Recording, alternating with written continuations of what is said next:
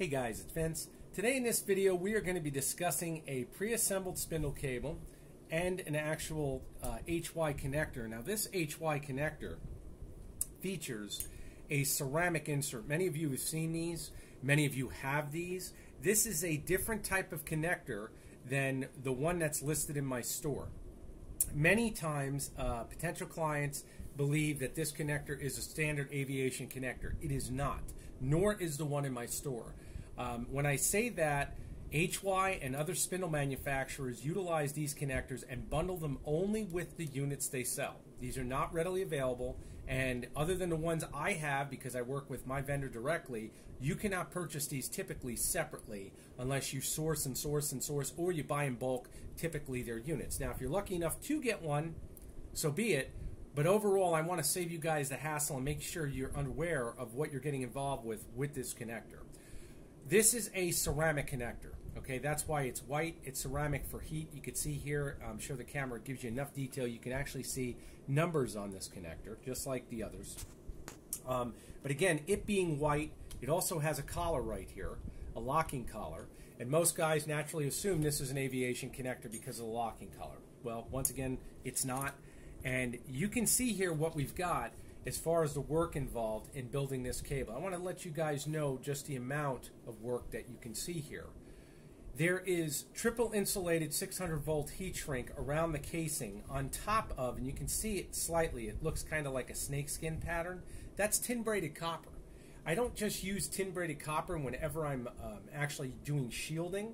Uh, of course, that's naturally what it's designed for, but it's also an amazing way to add rigidity to a cable that has its casing removed. Now, in this particular instance, you can see here where it tapers. It gets a little larger and then it gets slightly smaller. Well, the reason it gets slightly smaller is in order to install this connector, the housing has to actually screw on to this actual plug. Okay? It's not like a traditional black HY plug. When you actually insert this uh, ceramic plug into here with the collar on it, you have to rotate with the soldered leads on this plug into this housing in order to have this housing made up and screw tight together. Now, considering you're not able to do that naturally with the casing of the cable inserted in the actual stress relief. You have to have bare leads there. Now, once you have bare leads there, and I've seen this done many times, you want to make sure that those bare leads are, are going to be reinforced so there's no excess stress on these solder connections, okay? Now, when I say that, it sounds simple enough but you're going to need thick wall heat shrink or you're going to need multiple pieces of properly insulated rated heat shrink to actually go over those leads multitudes of times to make sure you add, I'm just trying to get my hand out of the way, my meat hook, so you can see, add rigidity to this plug. And that's exactly what I've done here. I've added this piece here, multiple pieces, to add the rigidity on top of adding stress relief. Because we only have our four leads and naturally when we compress our stress relief we want to make sure that we're not engaging that stress relief into our conductor's actual sheaths. And when I say conductors I'm talking about the leads that are actually soldered to the plug.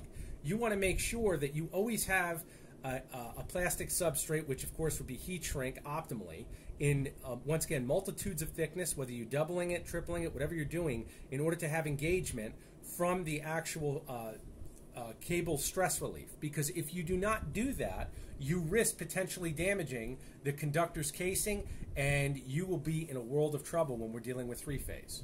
Okay, you can see here how I assembled this.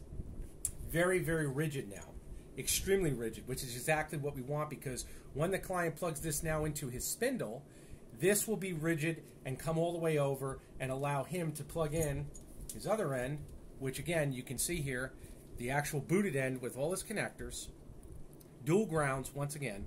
The dual grounds, of course, is coming from the shield drain and also the typical ground, which is green in the, in the actual uh, cable itself. And then, of course, the three colors. Now, being we're dealing with a three-phase out, and I can't emphasize this enough, three-phase out means that all these leads are hot.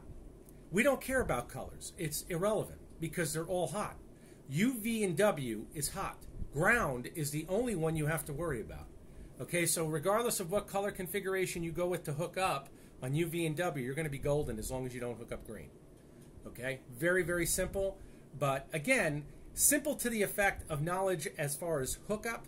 uh, more complex in the sense that you need to understand what you're doing when we're dealing with a three-phase output. And what I say about that is this.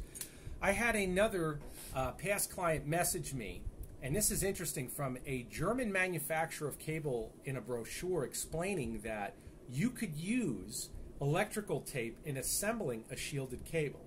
And I plan on posting this because I want you guys to see this. Um, I'm going to tell you right now, I never ever recommend utilizing electrical tape except for temporary type repairs. Okay, and when I say that, I cannot emphasize that enough, especially with a three phase output. Okay, when we're talking with 340, 360 volts, guys, that's a lot of power we're talking about. Okay, I cannot emphasize to you that God forbid you arc slightly instant fire, or God forbid you're jolted with that. Involuntary muscle contraction can happen immediately and you'll be pinned to that voltage. Okay, if you have heart problems, it can stop your heart virtually instantly, no different than 220 is very easy. But when we get into three phase, we're talking an industrial accident, and many of you already realize because you work in industry, there's no such thing as a small industrial accident. Okay, they're like motorcycle accidents and skydiving accidents. There's no minor one. Okay, if you're you're lucky if you walk away alive. Okay, so I'm telling you now, don't cut corners, don't half-ass this. It needs to be done correctly. You can see here plug insertion. Everything here is done correctly. We have ED 704 silicone coming in here where we seal the plug to make sure we have no water um, or moisture penetration. And then, of course, our heat shrink, triple insulated, comes over here and meets exactly to the butt of the connector triple reinforced with our tin braided copper coming all the way back. And once again, three pieces of heat shrink, and you can see our insulation rating right there, 600 volts. Right there. So again, everything here has been covered to where that client does not have to worry. Okay? The other factor is, and I've said this in previous videos, if God forbid you ever have a fire in your shop and your natural shop or house is insured, if they find that a cable was not assembled correctly and the fire marshal goes in there, you're going to have problems because they will give you a lot of issues when it comes to insurance claims. Be careful, guys. Okay? Be careful of admitting if you're not sure of what you're doing, ask. If you don't have the money to have it done properly, save. Don't rush. The good thing about CNC is you can learn it at your own pace, but being impetuous always costs you money. And don't be a fool. Don't assume things because when you assume, we make an ass out of you and me, and we know how that goes. So again, looking at this, this is not done fast. This takes me about two hours to assemble. Therefore, this cable I do not charge the same as what's listed in my store. Okay, with good reason. If it takes me two hours and all the additional work and all the additional components to do this, what is it going to take you if you've never done it? What is it going to take you if you've done one? What if what is it going to take you if you've never worked on a double shielded cable before? where it has a 16 gauge ground. Again, these are all variables that will affect your time constraint as far as assembling the unit and, and once again doing it at a professional level where it's, it's going to last. We want something that's durable and something that's going to be an investment for you and your machine in its stability and your business as far as where you're going. You know, you're only doing this once, hopefully. So again, I hope the video has been helpful.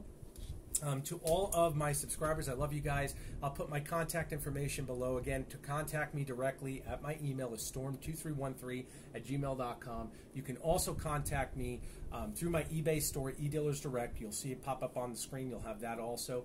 But again, guys, take your time with this. Do not rush your spindle cables. These are not standard aviation connectors. I cannot emphasize that enough. I do have some more information on. Um, I want to cover later on. I'm going to see if I can integrate it in this video. If I did, great. If I don't, I'll do another video on it where it's going to discuss ground loops because I'm getting more and more questions on them. Um, and actually uh, covering a user's manual with uh, the spindle that actually covers how to ground in the actual user's manual. Okay, many of you guys have HY manuals. I have one and they do cover grounding. Uh, and I wanted to discuss that because, again, I think it's imperative that if we can use the user's manual, we should be. Everybody should be. There's no exclusion. You know, I've done this for years, but you guys, you're never going to learn if you're just waiting for someone to regurgitate it. You guys having the user's manual and using that to your reference is going to make you that much stronger in education. So, again, I hope the video has been helpful. Thank you all. Take care.